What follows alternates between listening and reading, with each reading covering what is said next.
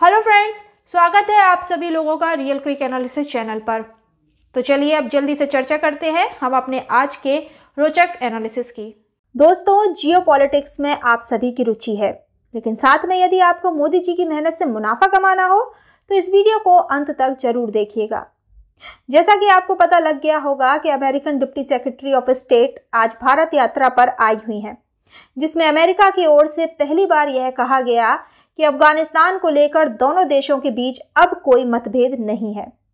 यह सुनकर अच्छा लगा, क्योंकि हम सभी ने देखा है और भारतीय विदेश मंत्री ने भी कुछ दिनों पहले कहा था कि जब कतर में अमेरिका तालिबान के साथ डील कर रहा था, तब उस डील को लेकर अमेरिका ने भारत को अंधेरे में रखा। भारत के विचारों को कभी कोई तरजीत नहीं दी।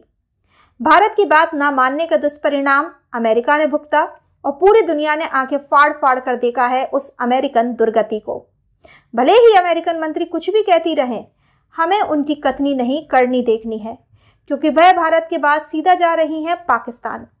इसी बीच पाकिस्तानी टुकड़ों पर पलने वाले एक बड़े तालिबानी लीडर ने महमूद गजनवी के आगे मत्था टेका और छाती चौड़ी करके कहा कि देखो इसी आदमी ने सोमनाथ की मूर्ति को चकनाचूर किया था। शर्म आनी चाहिए और चुल्लू भर पानी में डूब कर मर जाना चाहिए। भारत में बैठे उन बड़े बड़े विद्वानों को, जो कल तक यह ज्ञान बांट रहे थे कि भारत ने तालिबान के साथ दोस्ती कर लेनी चाहिए। लेकिन दोस्तों, हमारे मन में कोई गलतफहमी नहीं है, जबकि हमारे देश में लोगों को जातियों के आधार पर बांटने की लगातार कोशिश की जा रही है।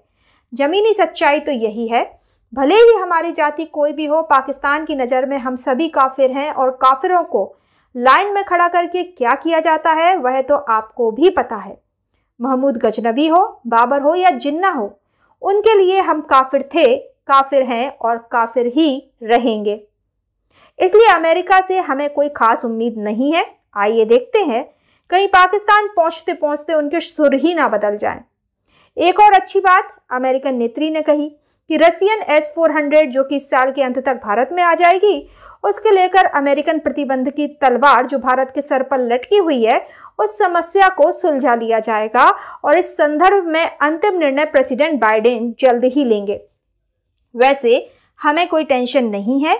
यदि अमेरिका में रत्ती भर भी अकल है तो वह एक S four hundred defence system के चक्कर में भारत के साथ अपनी डिफेंस पार्टनरशिप को डिस्ट्रॉय नहीं करेगा। हालाँकि चारों ओर इस बात की चर्चा है कि American deputy secretary of state ने क्या कहा और क्या नहीं। लेकिन दोस्तों, हम आपका ध्यान आकर्षित करना चाहते हैं इस ओर कि यूएस ट्रेड रिप्रेजेंटेटिव का डेलीगेशन भी भारत आया हुआ है। अब आप पूछेंगे कि इसमें भला क्या इंपॉर्टेंट है? तो दोस्तों, आप थोड़ा पीछे जाएँ। तो ट्रंप के शासनकाल में भारत अमेरिका के बीच छोटी ट्रेड डील की बात चल रही थी। लेकिन फिर बाइडेन साहब सत्ता में आ गए और उन्होंने इस प्रस्तावित ट्रेड डील को ठंडे बस्ते में डाल दिया। गुरूर तो इतना चढ़ा हुआ था साहब कि उन्होंने भारत को आधिकारिक रूप से कह दिया कि बाइडेन एडमिनिस्ट्रेशन की फोकस अभी इंडियन ट्रेड डील पर नहीं है। इस बैकग्राउंड में मोदी जी गए अमेरिका और उन्होंने बाइडेन को खोपचे में लेकर समझाया कि भारत के साथ छोटी ट्रेड डील छोड़िए, क्यों ना बड़े लेवल पर स्ट्रेटेजिक इकोनॉमिक पार्टनरशिप खड़ी की जाए। मोदी जी ने ऐसे ऐसे लाभ गिनाए कि बाइडेन साहब अपने आप मोदी जी की बोतल में उतर गए। परिणाम आपके सामने है। ना को हाँ में बदलना, कोई मोदी जी से सीखे। तो अब हम बात करते हैं आपके मुनाफे की। तो दोस्तों, मोदी शासनकाल में इंफ्रास्ट्रक्चर सेक्टर में हो रहे काम से आपका मुनाफा हो सके, इसलिए 23 सितंबर को हमने दिलीप बिल्ड कॉइन के शेयर इस वीडियो में कवर किए थे। और आज आप देख लीजिए इस कंपनी ने कुछ ही दिनों के भीतर दिया है तेरह प्रतिशत का तोड़ फोड़ रिटर्न। इसी तरह यदि आपको भी सुनहरे मौके पकड़ना है तो आपका आत्मनिर्भर इन्वेस्टर कोर्स में स्वागत है। यह कोर्स आपको टिप मांगने वाले से टिप देने वाला बना देगा। जी हाँ आप भी बन जाएँगे टेक्निकल एंड फंडामेंटल एक्सपर्ट। आत्मनिर्भर इन्वेस्टर कोर्स के बारे में अधिक जानकारी के लिए आप इस वीडियो के डिस्क्रिप्शन बॉक्स में दी गई हमारी लिंक पर क्लिक करके व्हाट्सएप पर सारी डिटेल्स तुरंत प्राप्त कर सकते हैं। सो फ्रेंड्स आई होप आपको हमारा आज का वीडियो पसंद आया हो तो प्लीज़ इस वीडियो को लाइक करके शेयर ज़रूर कीजिए। साथ ही हमारे चैनल से जुड़े रहने के लिए चैनल को सब्सक्राइब भी ज़रूर कीजिए। और अब आप हमारे चैनल की मेंबरशिप भी ले सकते हैं। अंत में दोस्तों, हमारी इस वीडियो को देखने के लिए आप सभी लोगों का बहुत अधिक धन्यवाद।